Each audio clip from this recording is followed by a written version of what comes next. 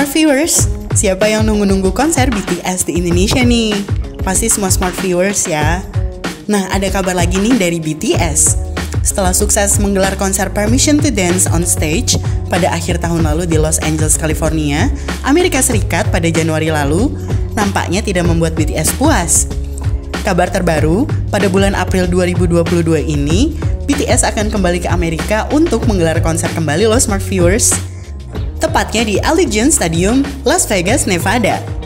Konser ini akan diselenggarakan offline loh. Dan hal ini juga sudah resmi diumumkan oleh pihak manajemen Big Hit di akun media sosialnya.